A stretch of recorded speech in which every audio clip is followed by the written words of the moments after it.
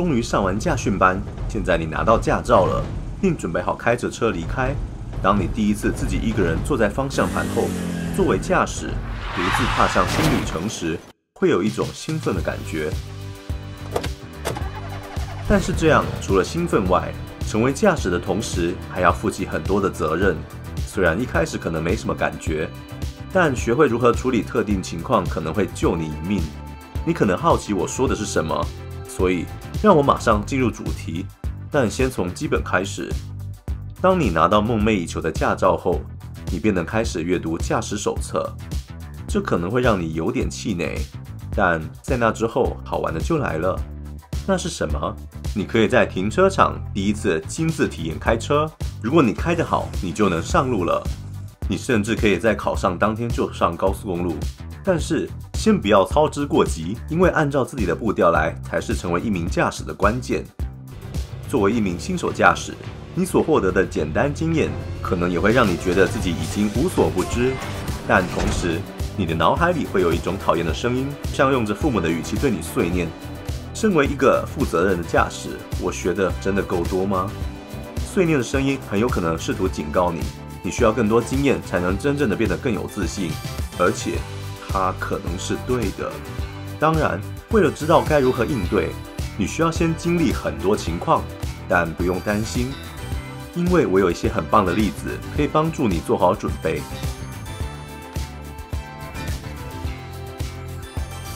第一，在恶劣天气下驾驶，无论在下雨、浓雾、冰雹还是雷雨，听起来都很有趣吗？你应该要知道的是，恶劣的天气条件会影响你的驾驶方式和车辆的状况。只在天气晴朗时开车是不够的，在各种天气条件下开车。才能有丰富的驾驶经验，所以不要害怕在恶劣天气下练习开车，只要更加小心就行了。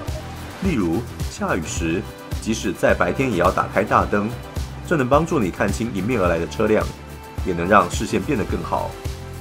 事实上，在美国的大多数州，法律都要求在下雨时得打开大灯。当你在大雨中驾驶时，请开慢一点。正如我刚刚说的，在这些情况下，你的能见度十分有限，而且还有另一个危险因素——打滑。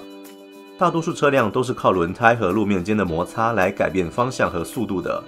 你在轮胎上看到那些凹槽，就是设计要消除轮胎里多余水分，进而使轮胎在潮湿天气中能保持足够的摩擦力。但在大雨期间，轮胎无法排出多余的水分，因此。前轮中的水压迫使大量的水分跑进轮胎的前缘，使轮胎被抬离路面。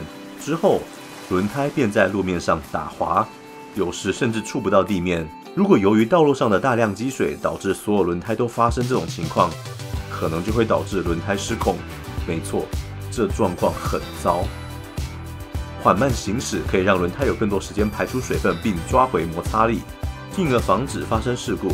在这种情况下，你没时间恐慌，你需要快速行动。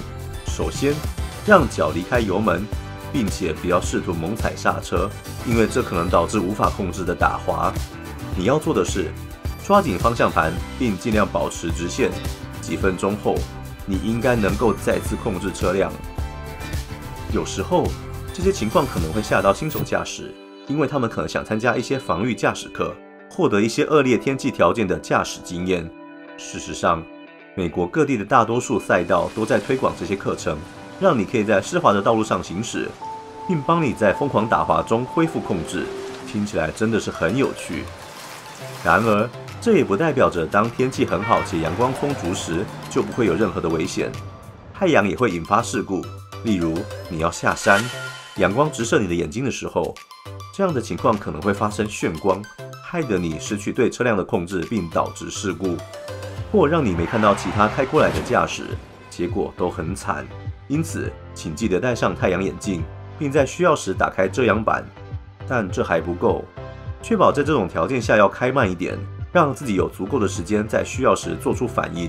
此外，你要知道，眩光会让你短暂失明。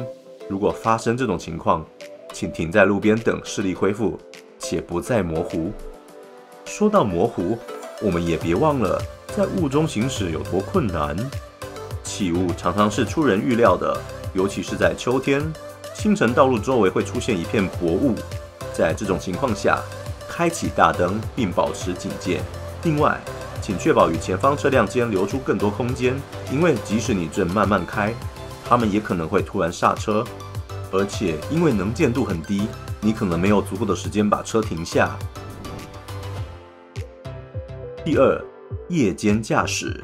现在我们已经学会了恶劣天气条件的应对，让我们也不要忘记夜间驾驶时应该要注意的事项。首先，即使对自己的驾驶技巧充满信心，也在晚上多开几次，让自己更熟悉。你肯定会注意到晚上的风景和道路看起来不太一样，其他东西的位置看起来都怪怪的。你应该记住的是，当遇到迎面而来的车辆时，将车辆的灯光调暗，被其他人的远光灯致盲而驶离道路是非常容易的。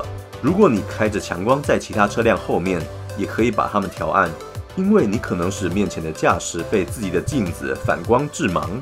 而显然的，在晚上驾驶时一定要按照或低于限速，以避免发生任何意外。当你超速时，特别是在晚上，很可能会超出车辆所需的安全刹车距离。有时候。路上可能会有行人或动物，直到你很靠近他们，你才看见。所以，为了让自己和周围的人保持安全，夜间驾驶时要时时保持警戒。第三，驶出路面。现在我们已经谈过那些你需要更加谨慎的情况，让我们继续谈谈车辆意外驶出路面时你该怎么办。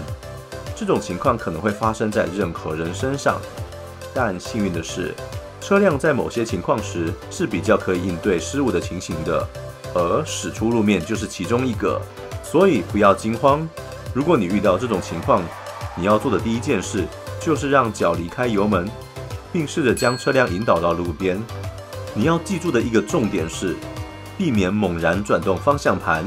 当车辆牢牢地卡在路边时，这样做可能会失去对车辆的控制。你要做的。是冷静而稳定的引导车辆回到路面上。第四，让我们来谈谈市区驾驶。市区驾驶可能是你经历过最难的驾驶环境之一，不是因为它让你很难控制车辆，而是因为很难预测和控制身边的其他车辆。而且别忘了，在市区开车会让人多么紧张。当你在市区开车时，全程都要保持警戒，不要让自己失去注意力，并且留意行人，因为他们可能无处不在。当你在这些区域开车时，你能学会如何更好地面对车潮、红绿灯、交叉路口和单行道。但是，当你有与其他车辆互动时的充分驾驶经验，你就能更理解自己的驾驶能力到哪个程度了。第五。别忘了洲际公路。现在让我们离开市区，开往洲际公路。这比看起来还要难哦。在洲际公路上行驶，会让你理解在交通拥塞时开车是什么感觉。你能从中学到的一件事是如何进入其他车阵中，正确变换车道，以及如何离开。当你变换车道时，你要查看镜子来确认是否有高速车辆和摩托车从你身后接近。你也应该学会往后看，确保盲点中没有任何车辆。打出方向灯，缓慢而稳稳地进入其他车阵中。好的，各位经验丰富的驾驶，你会给刚拿到驾照的人什么建议呢？请在下面留言中告诉我吧。嘿，如果你今天学到了新东西，那就给这个影片一个赞，并与朋友分享。但是，等等，先不要进快车道。我们有超过两千个很酷的影片可以查看，你所要做的就是选择左边或右边的影片，点击它，然后享受吧。留在亮生活。